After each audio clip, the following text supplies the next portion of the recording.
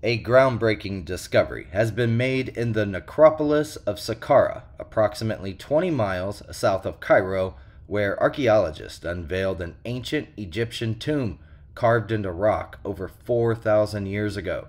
The tomb, a result of collaborative efforts between Egyptian and Japanese archaeologists, dates back between 2650 and 2150 BC and contains multiple graves and artifacts spanning different historical periods.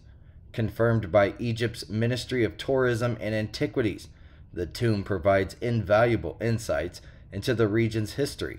This is according to Nozomu Kawai, the head of the Japanese team.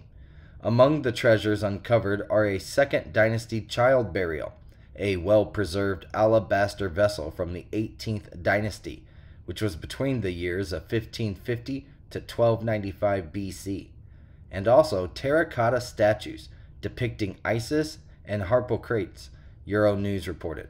The tomb also revealed remains of a human buried with a vividly colored mask, a burial site for a small child from the Second Dynasty, and various other artifacts, including a stela identified as belonging to a man named Herodes, amulets, and broken pottery pieces.